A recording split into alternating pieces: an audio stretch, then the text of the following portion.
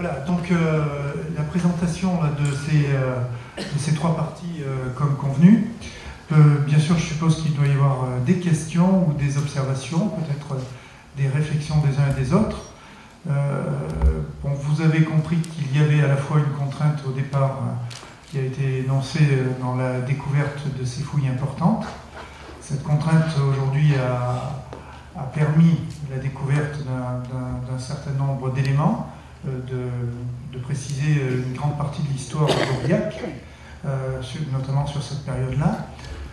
Aujourd'hui, la position de la DRAC, comme la position de l'État, c'était de dire que les fouilles qui ont été réalisées ont été des fouilles très importantes, ont d'ailleurs absorbé une grande partie des crédits qui étaient consacrés à la région Auvergne, où il y a beaucoup de sites à fouiller. Et donc la position qui a été arrêtée avec les services de l'État, c'était de dire que des fouilles supplémentaires à la hauteur de ce que l'on a connu n'étaient plus possibles. Il pourrait y avoir des fouilles ponctuelles, des démarches euh, peut-être sur des parties, comme vous l'avez vu, les travaux qui sont réalisés sont des travaux qui peuvent toujours être euh, déplacés, ou en tout cas des interventions peuvent être réalisées sans, euh, sans gêner la totalité du projet.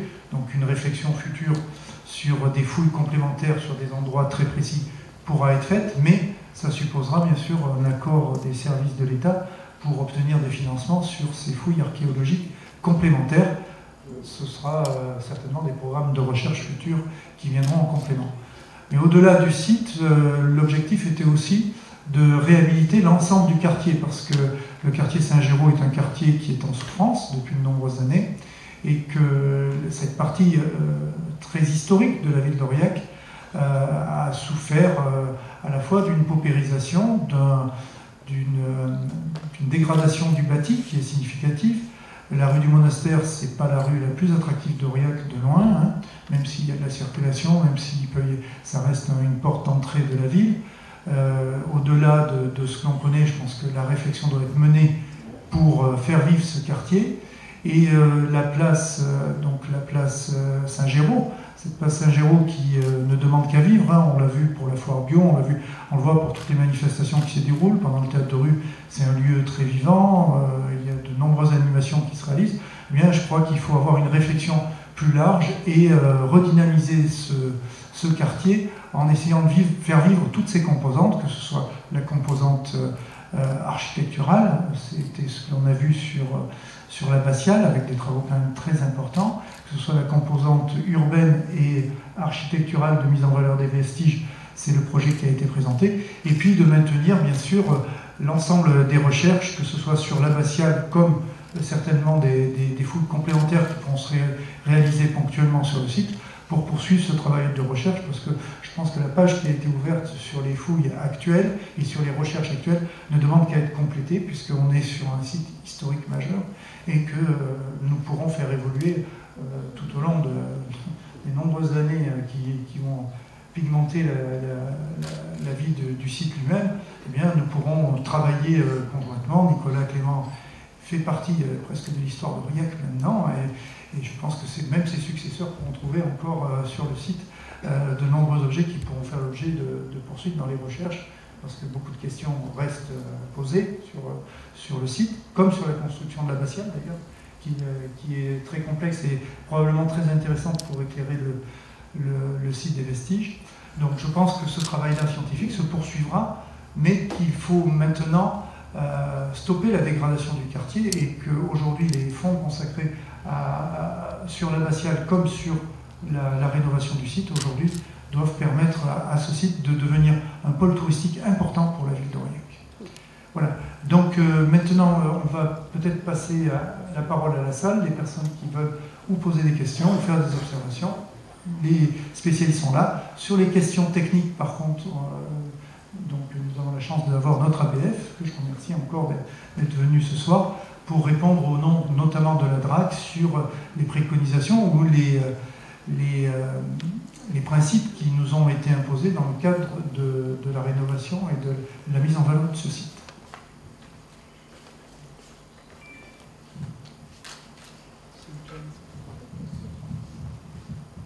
des questions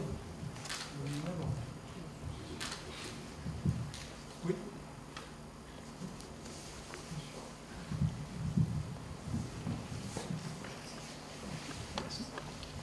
Oui, euh, oui j'avais juste une, question qui se rapproche en fait de l'image que, que, nous a montré monsieur l'architecte. Je n'ai pas trop bien compris. Euh, sur, sur, une image, il y a à un moment donné une espèce de paroi vitrée sur lequel vous dites que vous allez présenter des choses en référence à l'histoire. Voilà, celle-ci. De quelle manière, qu'est-ce que vous souhaitez présenter? De quelle manière la mise en scène euh, sera-t-elle faite? Enfin, si est précise aujourd'hui. Alors, ce n'est pas l'architecte qui va répondre. Donc, le, comité scientifique va valider un certain nombre de, panneaux. Je pense d'ailleurs que sur la présentation qui est faite, il y a beaucoup, beaucoup de panneaux d'information. Il va falloir essayer certainement de simplifier pour euh, mettre à disposition l'histoire euh, globalement, mais euh, peut-être que le site évoluera un peu sur cette panotique. Et dans cette, vitrine, ce qui serait intéressant, c'est de mettre au moins des artefacts, parce que je ne pense pas que la DRAC nous autorise d'exposer des, éléments d'origine, mais au moins les éléments significatifs, une copie d'un cercueil monoxyle, peut-être les, les chapiteaux euh, qu'on a pu trouver, enfin des copies, ce seront des copies, puisqu'on ne peut pas laisser euh, à l'air, euh, les, éléments originaux seront déposés au musée et on aura certainement une salle complémentaire avec le musée qui fera le lien avec, avec ces éléments-là. Il y a Emmanuel Huet que j'ai vu par là. Peut-être elle, peut, elle veut compléter sur, ce qui est la panotique et les éléments. Est-ce que j'ai tout dit ou Non Si j'ai tout dit, j'ai tout dit. Hein. je pense. voilà, juste, euh, juste effectivement préciser qu'au niveau du conseil scientifique, le travail est toujours en cours, donc euh, c'est pas fini. On, valide ensemble euh, ce qui sera présenté sur le site. Et ensuite, évidemment, il y aura en, complément au, musée la présentation des objets originaux et dans un discours aussi qui sera renouvelé et qui fera la, la part belle à toutes les découvertes euh, qui ont été faites. Qui est, euh, Nicolas Clément me le souffle, mais il y a en tout cas une solution à apporter très rapidement au sarcophage en pierre qui se dégrade euh, fortement au chevet de l'église et qu'il va falloir protéger parce que je pense qu'on les voit d'année en année dépérir. Donc je pense que voilà, ce seront des éléments qu'on va juger significatifs, mais l'idée c'est quand même de renvoyer sur, sur le musée ou sur sur un lieu qu'on pourra peut-être dédier sur le site si, euh, si on trouve une solution dans les bâtiments qui seront éventuellement, éventuellement disponibles pour retrouver l'histoire. Une question, comme je, la vois. Pour les, travaux à, notre, à l'abbatiale, on n'a pas les mêmes risques qu'à Notre-Dame, j'espère. Ah, j'ai peur qu'il soit plus long, parce que, euh, bon, on a parlé des phases et, et M. Mansurescu euh, a mis un rythme très intense. Euh, ça représente des sommes importantes, hein, puisque ça a été évoqué, c'est 6 millions d'euros.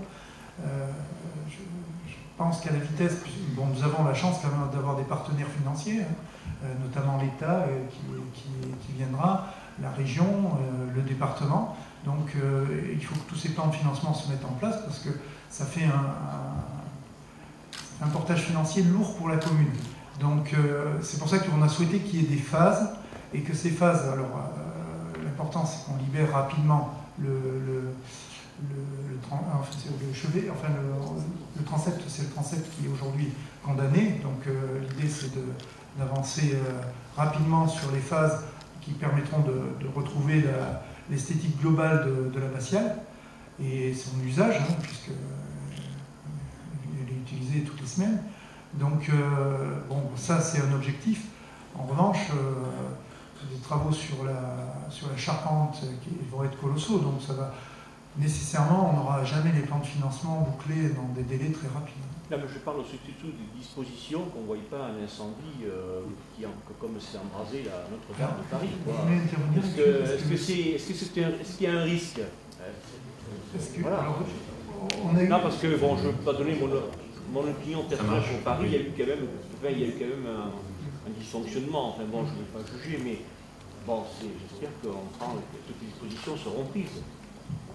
Alors, euh, en tant qu'architecte des bâtiments de France, là-dessus, on, ne peut assurer de rien sur un bâtiment historique. Hein, sur, on peut mettre en place toute la détection incendie euh, possible. Euh, à un moment donné, l'accident peut être circonscrit par des moyens, mais on ne peut pas être sûr du risque zéro. Ça, on ne peut pas l'assurer, surtout sur des bâtiments avec des, volumes de combles assez importants, même si on les recoupe, même si on, a la détection, même si on a deux pompiers comme à, Notre-Dame, euh, regardez ce qui s'est passé. Et il y avait 400 pompiers euh, sur le site. 400 pompiers. Euh, je ne veux pas faire un parallèle, mais ici, combien de personnes on aura sur le site? Donc, je veux dire, on peut mettre en, tous les moyens possibles, mais on n'est pas à l'abri d'un accident, malheureusement. Ça, on ne peut pas euh, être sûr à 100%. Donc ça, on ne pourra jamais l'assurer. Par contre, pour répondre peut-être, je pense que le, euh, on a eu un certain nombre de préconisations justement sur la détection incendie. Donc on mettra des, outils, c'est a priori prévu. Je, Madame le préfet m'a saisi là-dessus. Exactement. Donc déjà avec les, les services du SDIS, euh, il y a la mise en place, comme sur la cathédrale Saint-Pierre de Saint-Flour, d'un plan étaré, d'un plan de sauvegarde des œuvres, mais aussi parallèlement de la mise en place d'une détection incendie. Souvent, c'est dans les combles, puisqu'environ 30% euh, euh, des départs de feu dans les monuments historiques, c'est 30% c'est l'électricité. Un défaut, un problème d'électricité. À peu près 30 à 40% restants, c'est les points chauds, c'est-à-dire soudage, euh, soudure sur la toiture, découpe, et après, il y a 10% de vandalisme, à peu près, et le reste, c'est euh, divers, divers problèmes. Mais le gros problème, c'est vraiment l'électricité et la soudure et les travaux. Donc de là, il faut une détection, et derrière, avec un contrat classique de levée de doute, une entreprise qui vient rapidement dès qu'il y a une détection, un report de, de problème et qui vient faire une levée de doute dans ce cas, euh, s'il y a un problème, l'intervention des services des pompiers.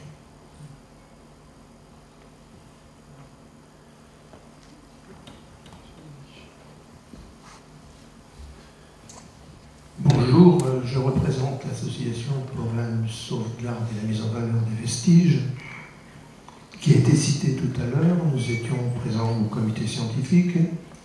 Euh, nous avons participé à ce comité, on a considéré que notre présence était un geste de courtoisie de la part de la mairie.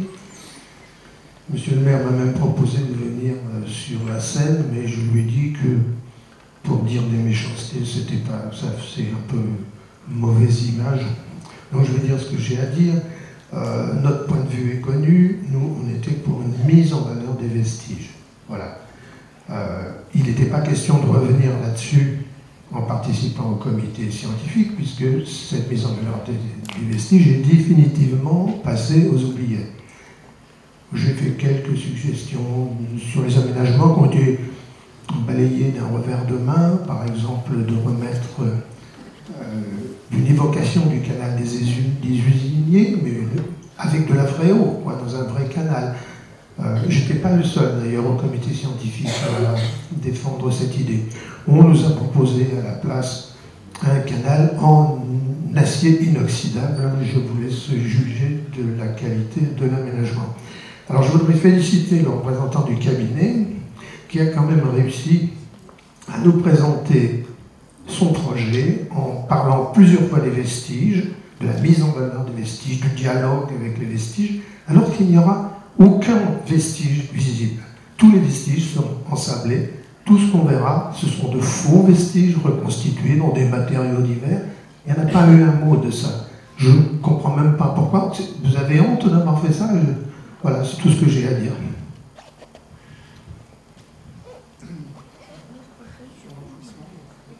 Sur l'enfouissement, euh, comme pour beaucoup de vestiges archéologiques, euh, ils sont la plupart du temps je dis bien la plupart du temps en site urbain et même en site périurbain, enfouis pour les protéger. C'est-à-dire qu'on les protège pour donner une trace aux générations futures qui, au cas de notre réaménagement, pourront retrouver ces vestiges.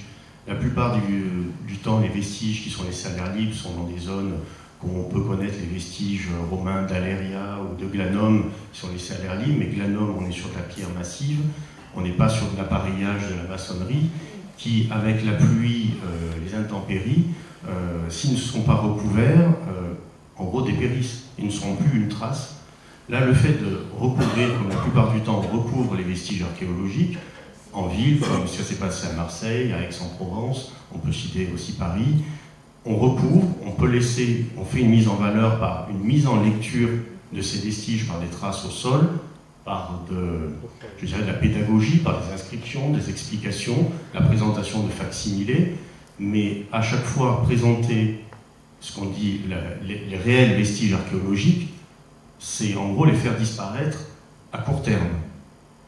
Donc euh, l'idéal est de les enterrer justement pour le laisser, pour, euh, les pérenniser. Donc euh, aujourd'hui, une mise en valeur de vestiges, c'est les mettre en lecture la plupart du temps. Des vestiges archéologiques, je parle bien. Donc ça a été la préconisation de la DRAC d'ailleurs de les enterrer et de les mettre en lisibilité par un dispositif architectural, cet aménagement qui a été prévu, et d'ailleurs c'est le conseil scientifique qui s'est exprimé sur la meilleure époque et les meilleurs tracés à donner à lire au public. Parce que donner à lire les vestiges d'une manière presque non coordonnée, euh, clairement, même, moi, devant un champ de fouilles, euh, des fois c'est très difficile d'avoir une lecture de ces vestiges. Là, le conseil scientifique s'exprime sur choisir la meilleure période à montrer, qui était réellement, euh, là on était sur du 11e au 13e siècle ce qui est le, plus cohérent au niveau euh, de la lecture architecturale du monastère, du plan du monastère. Euh, aujourd'hui, pour, nous et la DRAC, au niveau même national, l'enfouissement des vestiges est une prescription, je dirais, presque commune et banale. Je vous remercie de vos explications que je connais déjà. Euh, je ne veux pas entamer une discussion sur ce sujet puisque c'est acté définitivement. Simplement, je critique le double langage qu'il y a sur une mise en valeur qui n'est pas une mise en valeur. Et là, on est dans un langage très contemporain où les mots n'ont plus de sens. On est dans la communication, on est dans l'image, dans le faux semblant. On a la même chose au Rocher de Carla avec euh, une soi-disant réalité augmentée qui nous montre des choses qui n'ont jamais existé. On est dans la com, voilà, c'est tout. Euh, quand vous dites que partout on enfouit les vestiges, euh, non, non, c'est pas vrai. À Argenteuil, on a trouvé des vestiges tout à fait comparables à ceux d'Aurillac. Ils sont en valeur, on les a abrités, on a construit une toiture au-dessus. Voilà, c'est tout. Je voulais simplement dire qu'on n'était pas d'accord, mais c'est pas une surprise, vous le saviez. Mais on ne voudrait pas servir de caution à cet aménagement qui ne nous plaît pas. Voilà. Pour rebondir sur le projet de construction devant l'abbatiale, hein, peut-être qu'il faudra demander au cabinet d'architecte de faire une simulation de ce que ça représenterait si on met une couverture comme le bibracte devant l'abbatiale Saint-Géry. Je, bibracte, c'est couvert, le site est couvert ce n'est pas Vibrac, excusez-moi mais Vibrac, c'est un autre contexte. Bien sûr, je suis d'accord, mais c'est pour euh, essayer de, projeter, si on veut euh, refaire vivre ce quartier, avec l'image que ça donnerait d'une construction euh, alvéolaire du type Place du Salut, hein, tel qu'on l'a fait, de, sur les vestiges. Je, laisse deviner. Et ensuite, sur le respect des vestiges. Alors, si vous voulez voir ce que donnent des vestiges, laissez à l'air libre à Aurillac.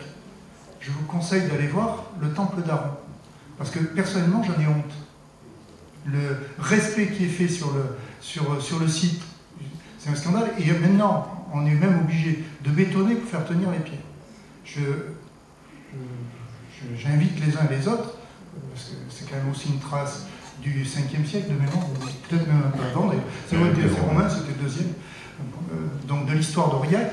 Je vous invite à aller voir dans quel état c'est en tout cas, on s'est engagé dessus avec votre prédécesseur à amener une solution.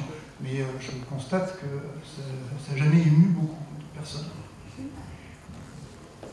Oui euh, vous parliez tout à l'heure de peut-être que plus tard faire des recherches pour euh, continuer d'agrémenter, de, de, trouver. mais ça va aller. non, c'est pour les gens, c'est la vidéo. Là, c'est bon. Voilà. Oui, vous disiez qu'on pourrait peut-être plus tard continuer à faire des recherches archéologiques pour connaître l'histoire euh, d'Aurillac. Alors, à quel endroit on pourrait faire ça? Ou est-ce que vous avez des idées où on pourrait creuser? Puisque là, ça sera enfoui. Est-ce qu'il y a d'autres lieux où vous savez où on peut creuser et trouver? Non, mais ce sera enfoui, mais euh, le site restera accessible sur des périmètres donnés. on a, fait, on a été justement vigilant que les constructions n'opèrent pas les possibilités de fouilles complémentaires. Nicolas Clément a plein d'idées, même sur le site. Nous aurons, donc il y a une étape qui va se réaliser, je crois, très rapidement. Alors là, je plutôt Alex, parce que je pense que sur le, passage du radar sur, la, sur le quartier Saint-Géron, donc il va permettre d'identifier ce qui est encore sous le sol, qui n'a pas été fouillé, mais qui permettra de localiser notamment sur le cloître. Et c'est la semaine prochaine. Voilà. Donc euh, nous aurons des, des, éléments complémentaires qui vont apparaître. Et puis, euh, encore une fois, un site historique, ça continue à vivre, ça ne s'arrête pas comme ça. Euh, que, ce soit accessible à la population, c'est une donnée de base. Euh, et c'est pour ça qu'on souhaite que, l'intervention sur l'ensemble du quartier soit réalisée. Mais euh, ça ne s'arrêtera pas comme ça, que ce soit l'abbatiale, que ce soit des endroits enherbés avec des périmètres qui pourront se définir, il peut y avoir des recherches, mais on sera dans des recherches qui coûtent beaucoup moins cher parce qu'elles se font sur un laps de temps déterminé, sur un endroit déterminé, avec un calendrier très précis et souvent par des étudiants, si je ne me trompe pas, qui ne sont pas du coup de, ce euh, c'est pas le même coût financier que des opérateurs professionnels comme on a pu connaître pendant deux ans sur le site. Et on sera tenu, enfin, vous offrez régulièrement des. Vous nous tiendrez au courant, quoi, je veux dire. Bien sûr, Merci. Oui, on a des associations très actives là-dessus. L'université de la haute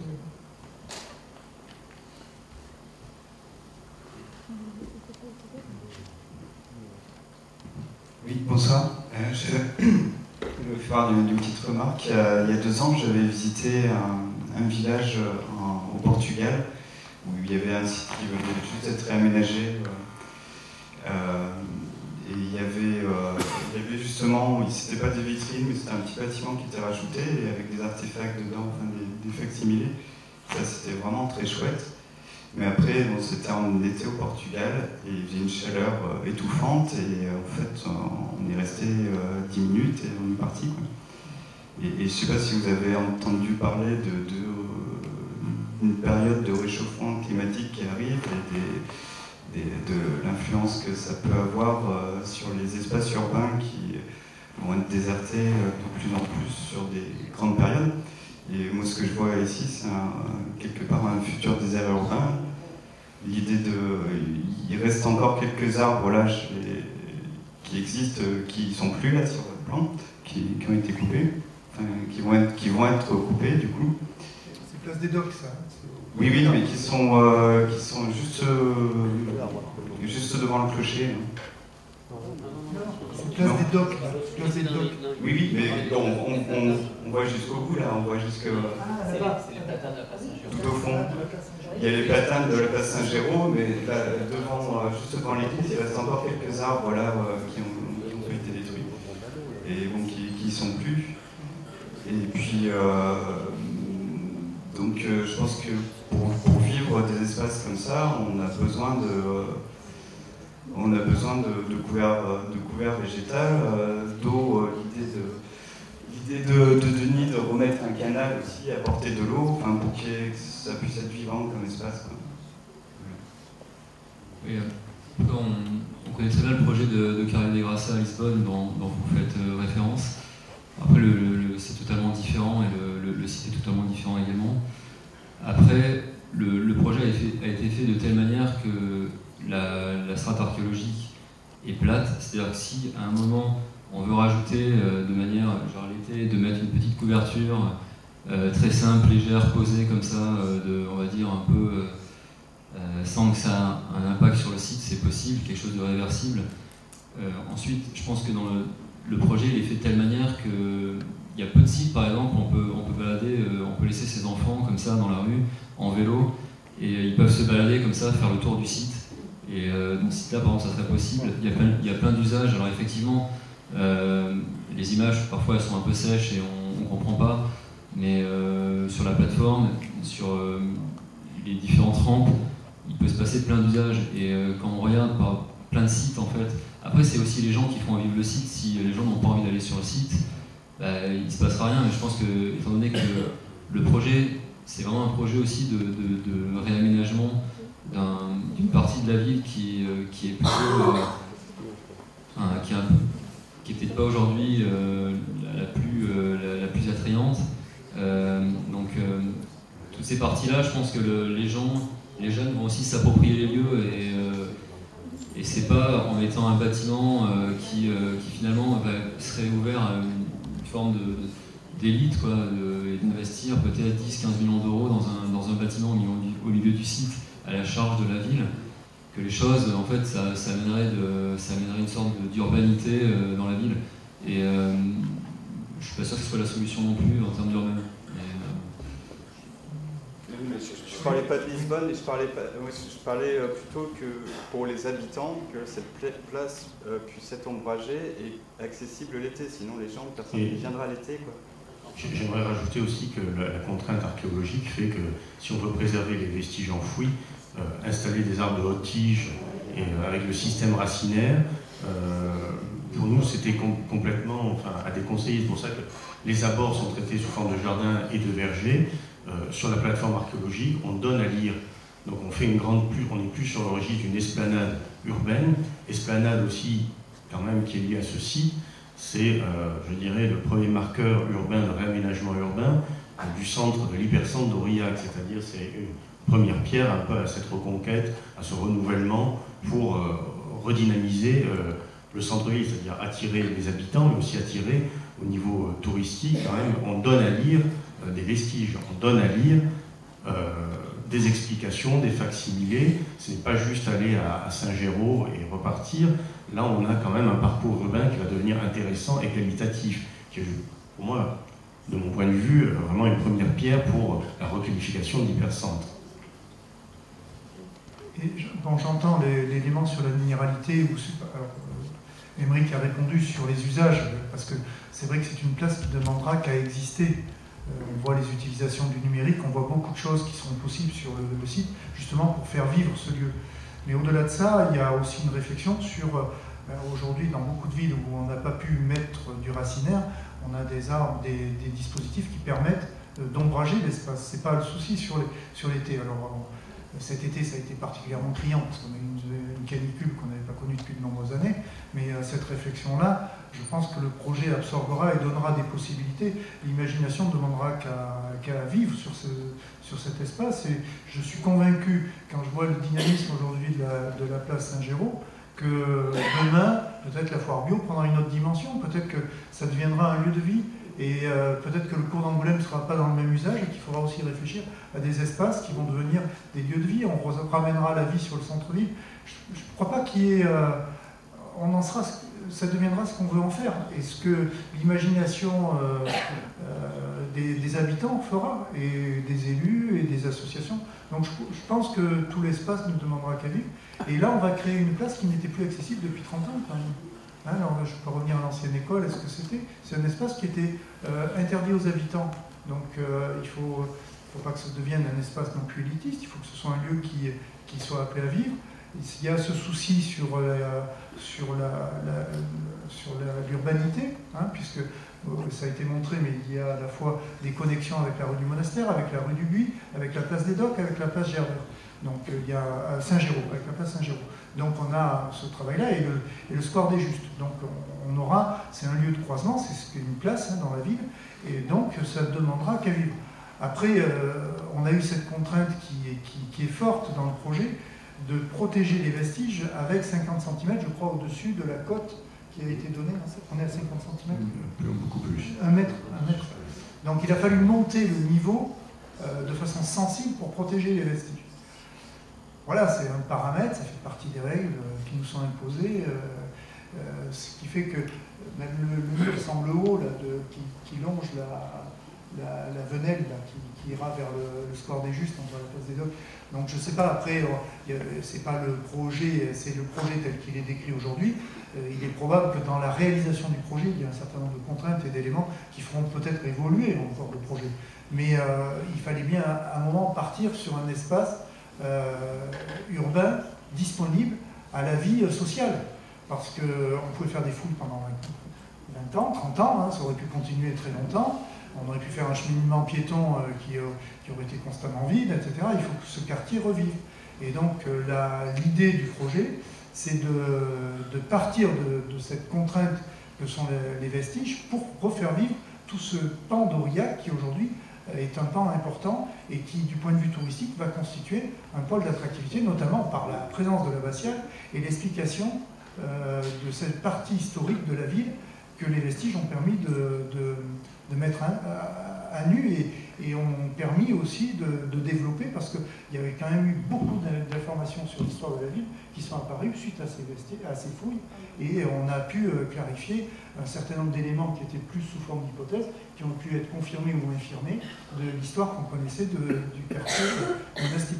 Donc euh, moi je crois que on a d'une contrainte, on fait une opportunité, et de cette opportunité, c'est une opportunité qui doit rejaillir sur tout le quartier, parce que même si ce n'est pas un quartier politique de la ville, euh, c'est parce qu'on n'a pas atteint les 1000 habitants, sinon c'est un quartier où on est en, paupérisation et en absence de mixité sociale, euh, dans, un schéma très compliqué. Mais on n'a pas atteint les 1000, c'est tout. Donc il faut euh, profiter de, ce dispositif pour refaire vivre le quartier, respecter les vestiges, reprendre l'histoire de, de, l'abbatiale, reprendre l'histoire d'Aurillac, parce que c'est l'histoire d'Aurillac, mais euh, en parallèle, il faut peut-être aller plus loin et se dire que l'enjeu, il est de rénover le bâti, de rénover euh, la partie commerciale de la ville et faire que ce quartier soit vraiment un produit où les Aurillacois ont du plaisir à se promener, où, euh, où ils peuvent trouver des animations. J'ai vu qu'on avait mis un carrousel. Bon, peut-être le de boule, c'est moyen. Hein, je, bon, il est dessiné. Mais le carrousel, ça peut être une idée. Il peut y avoir plein de choses qui peuvent se produire, euh, qui font que le quartier devient vivant euh, pendant la période estivale, ou pas à l'automne ou au printemps, c'est pas très grave. Je pense qu'il y a beaucoup d'enjeux après sur l'avenir de, de, cette partie-là. On a l'IEO qui fait une balade comptée, mais peut-être ça peut être autre chose. Peut-être qu'il faut aller sur un spectacle vivant. On est la ville des arts de la rue il y a peut-être une réflexion à avoir en permanence l'été. Tout ça, je, pense que l'imagination, c'est une page qui, est en train d'être ouverte, et l'imagination des usages, ce que disait Henri, bah, euh, on aura un espace qui le permettra. Ensuite, euh, il faut aussi se dire que euh, cet espace était fermé et non accessible. On peut en faire un espace ouvert, on peut en faire la base d'une réécriture, d'une relecture pardon, de, l'histoire d'Aurillac, et on voit beaucoup de touristes hein, en ce moment qui se promènent dans la ville. Je pense que ce ne serait pas neutre de pouvoir leur montrer un peu plus des vestiges, mais un peu plus de l'abbatiale et de l'histoire encore euh, qui, a été mise à nu dans le cadre de ces fous.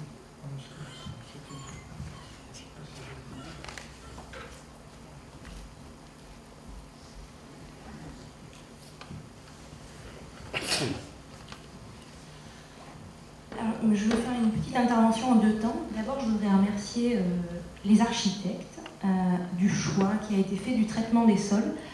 Euh, c'est un des premiers projets depuis très longtemps à Aurillac où on a un véritable travail sur le sol, riche, qualitatif, qui infuse dans le quartier puisqu'on a vu que ça allait jusqu'à la limite de la place du Buis, le square des Justes, etc.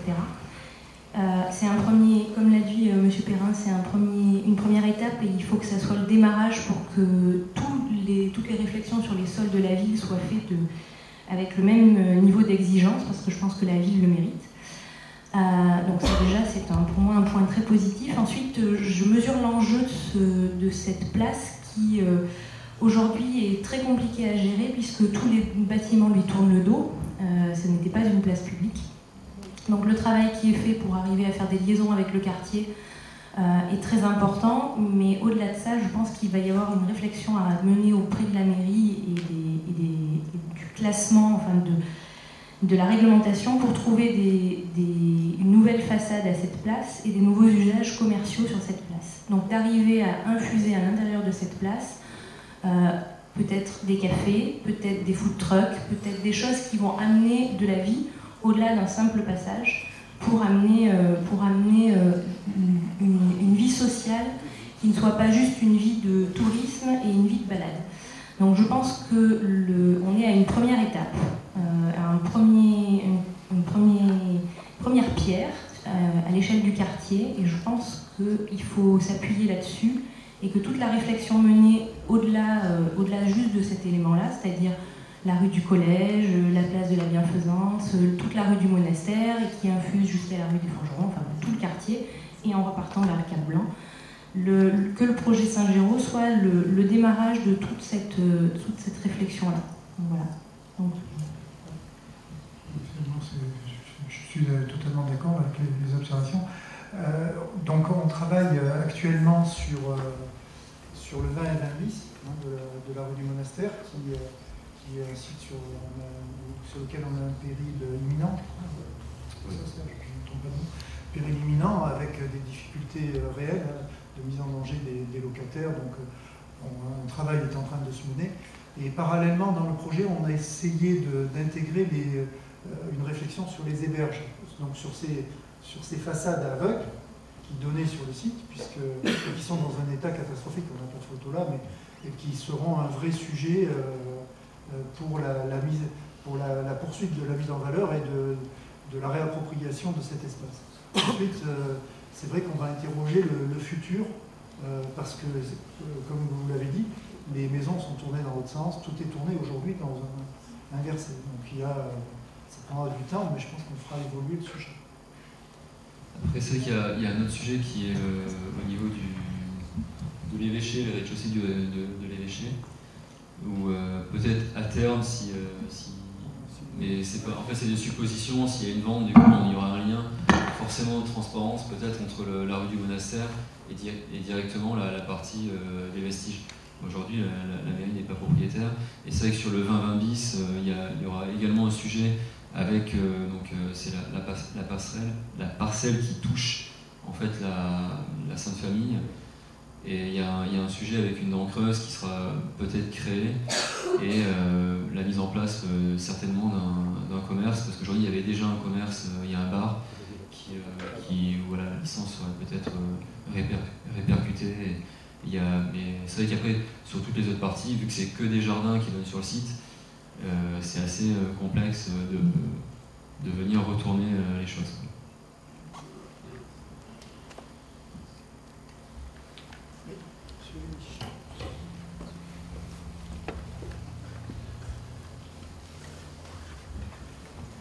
Je veux remercier Madame d'avoir parlé du problème des façades. Je vois qu'il n'a pas été traité, qu'il va être traité, bon, c'est très bien. Euh, les problèmes des deux côtés sont complètement différents.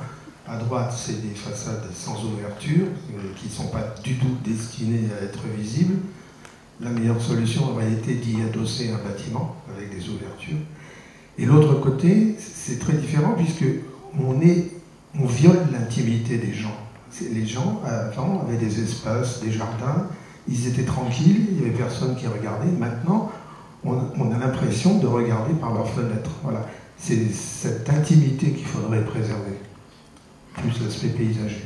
Je voudrais dire un mot sur la minéralité, on a parlé de la minéralité tout à l'heure. Alors peut-être que je vais vous surprendre, mais j'adore les espaces urbains minéraux. Euh, mais pour moi, les espaces urbains minéraux, c'est le modèle, c'est les places espagnoles, les places italiennes. Voilà, par exemple. La place qu'on a vue là tout à l'heure me fait très peur. J'ai peur que ça fasse comme la place devant le cinéma, c'est-à-dire totalement impraticable en été, euh, aveuglante et, surchauffée. Voilà, c'est une crainte que tout le monde a. Et ensuite, je voudrais poser une question, une petite question qui n'a rien à voir avec le débat. Il y a un membre de l'association qui me demande quels sont les projets pour la maison de la rue du Monastère où se trouve le puits médiéval, puisqu'elle est en arrêté de grand péril? Voilà.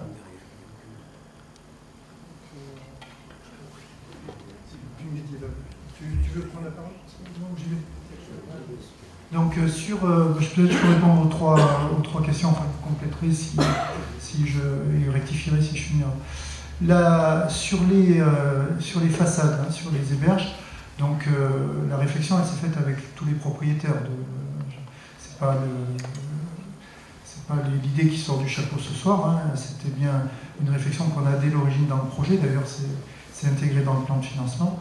Et donc, nous avons demandé l'accord à tous les propriétaires sur travailler sur ces façades-là nous avons, que nous avons obtenu, à ma connaissance, euh, on a eu un avis favorable de tous les propriétaires qui étaient euh, euh, riverains du projet, hein, puisque Et ça a été travaillé d'ailleurs par, le, cabinet Antoine Dufour. Ensuite, sur le deuxième point que vous évoquiez sur le 20 et 20 bis, l'endroit où il y a le, puits des moines, donc c'est là où nous avons un arrêté de péril. Si vous avez eu l'occasion de pousser la porte, vous pourrez constater que le mur est excessivement dangereux puisque il fait euh, un ventre, hein, je, crois qu'on dit comme ça. et que pour les locataires, il, a été, il y avait mise en danger de leur, leur sécurité. Donc c'est la raison du péril imminent. Parallèlement, il est proposé, dans le cadre de ce péril imminent, on leur, a demandé de, faire les travaux, mais l'expert qui avait été nommé a conclu que les travaux n'étaient pas possibles, qu'il fallait démolir pour reconstruire la cage d'escalier. Donc euh, le puits se situe dans la cage d'escalier. Donc euh, peut-être qu'une autre proposition a été faite de racheter, euh, sur la base de la valeur des domaines, comme on fait toujours à la ville, ces, immeubles pour pouvoir les déconstruire et reconstruire en préservant bien sûr le puits qui est, un, qui est identifié et repéré dans le cadre du projet. Voilà, c'est ce que je peux vous dire. Il y a aussi le passage qui est travaillé sur ce, dans le cadre du projet pour pour euh, accéder à la rue du monastère. Il y avait une, autre observation euh, La minéralité. Oui, sur la minéralité. Alors ça, c'est plus Après, sur la question de minéralité, il y a... Par exemple, quand vous allez à Barcelone, sur la place du Magba, euh, c'est une immense place noire. Il n'y a pas un arbre, il n'y a, pas un, banc. pour y avoir vécu, il fait 45 degrés en plein été. Et, par contre, les gens il y, a, tout un tas de skaters qui, sont là tout le temps, tout le temps, tout le temps. La place, après les espaces, s'ils ne sont pas utilisés par les gens, si les, si les usagers n'utilisent pas, vous allez beau faire la meilleure place, le meilleur parc, etc. Il ne se passe rien. C'est-à-dire que si, si, euh, les associations ne prennent pas aussi euh, les devants pour, pour, faire des choses, pour qu'il se passe des, activités, bah, il ne se passera rien. C'est sûr que la ville, c'est comme l'entretien. Quand on n'entretient pas un bâtiment, bah, il tombe en ruine. Et euh, le projet est aussi fait de telle manière de ne pas pérenniser un seul usage, parce qu'on sait qu'aujourd'hui, dans le temps, les choses évoluent très vite. C'est-à-dire que si, si on prend un parti en disant ça va être ça, on sait que dans 10 ans, ben, ça ne marchera plus, ça passera sur autre chose. Et le site, le projet est fait un peu comme ça. Après, sur la question d'ouvrir et de dire que vous auriez dû accoler sur la partie des jardins suspendus des bâtiments pour venir euh, créer de nouveaux usages, par exemple, bah, il y, a une vraie question parce que, étant donné qu'il y, a des vestiges dessous, on peut également pas construire. C'est-à-dire qu'à chaque fois, je veux dire, euh, voilà, c'est-à-dire qu'il y a un sujet, le sujet il est traité avec, euh, c'est comme un problème mathématique. Il y a des équations. Si on, bah, à un moment, il on, est forcément devant euh, le, problème, il faut le résoudre et avec un, nombre de points qui rentrent euh, avec un nombre d'inconnus, ben on, les prend et puis après, ben, voilà, effectivement, le projet, on aurait pu faire plein de choses, il aurait pu être. Euh, sauf que il y, a, des contraintes et ces contraintes, il faut les respecter. Je suis d'accord avec vous sur le fait que la place ne vivra que si les riverains, les habitants, les associations en font un certain usage, mais encore faut-il que cette place soit vivable. Et avec les, périodes de chaleur qu'on a maintenant et de lumière, on a un exemple à côté de places invivables. Monsieur, c'est un risque. Monsieur Vénich, on est d'accord sur, sur, euh, sur l'observation. La place vivable, non vivable. Cet été, pendant 45 jours, il y a eu 300 enfants par jour sur la place du cinéma. Je pense qu'elle était vivable. C'est le problème, c'est les usages qu'on en fait. Ça, a déjà été évoqué. Il y a eu 300 enfants par jour sur euh, l'île aux enfants. C'est pas parfait, c'était une, tentative, on ne savait pas comment ça allait fonctionner. C'est vrai qu'il a fait très chaud, donc euh, les jeux d'eau ont très bien fonctionné. Mais euh, voilà, c'est l'imagination, c'est aussi aux élus, aux associations, de faire vivre les lieux. Et d'autres possibilités existent. Euh, si vous faites la place Saint-Marc, il n'y a pas un arbre. Et pourtant, c'est une place qui vit parce qu'il y a un pôle d'attractivité touristique. Enfin, je, J'entends qu'aujourd'hui, la, la réflexion sur la présence euh, des arbres, la présence de l'ombre, tout ça, c'est des, climatiseurs de la ville, bien sûr, je suis d'accord. Mais il faut aussi qu'on ait des lieux où on puisse réaliser de, grandes cérémonies. Euh, l'année d'avant, il y avait la finale de foot, on l'a fait où à Aurillac maintenant? Enfin, Il faut comprendre que la ville a besoin de place pour ces grandes manifestations. Donc les usages, c'est ce qu'on en fait. C'est jamais parfait. Mais euh, expliquer au théâtre de rue qu'on ne fait pas une place plate et qu'on met euh, euh, des, pelouses partout sur la, place Michel Crespin, ce sera compliqué. Mais il n'y a pas que le théâtre de rue, hein. il y a la finale de, foot, je ne sais pas quoi. Les usages, c'est ce qu'on en fait. Et c'est vrai que c'est un défi en permanence pour les élus et les associations de s'interroger quels sont les lieux avec volume suffisant pour accueillir 5 à 6 000 personnes à Aurillac? Et euh, on ne va pas tous les envoyer sur l'ère événementielle. Il faut aussi qu'il y ait des lieux où la ville puisse vivre. Donc, euh, bon, les usages, j'entends. Et j'entends que la place, la place de la paix est chaude, je suis d'accord avec vous. Mais je vous dis, quand on a un peu d'imagination, on arrive à faire fonctionner la place comme la place Jaude à Clermont, d'autres idées vont naître pour l'année prochaine, et l'île aux enfants continuera parce que ça a été un succès, et ça a duré 45 ans. Après, comme je disais, la question de l'ombre, étant donné qu'on ne peut pas mettre d'arbres euh, sur le centre du site, on voit que les arbres sont. A la végétation qui est présente au niveau des héberges et surtout pour tour du site. Après, l'été, s'il fait chaud, on peut très bien mettre, euh, comme je disais tout à l'heure, euh, un, et il ne faut pas réaliser certains usages. C'est-à-dire qu'on va. La couverture, par exemple, c'est dommage, quand on monte sur le belvédère, s'il y a une couverture, ben, on ne voit plus les vestiges. Et du coup, les gens ne comprennent pas. Donc euh, il y a des questions qui se posent. Après, le bâtiment de l'évêché, le rez-de-chaussée, il peut servir à un moment, on peut créer des usages. Et il peut servir également, par exemple, de partie d'ombre, parce qu'on peut peut-être, avec une couverture, créer quelque chose et, euh, euh, et, à un moment, mettre au milieu de cette place, de, mettre quelque chose, de venir poser comme un plug, euh, c'est pas forcément la, solution, mais sur, certains usages, ça peut l'être.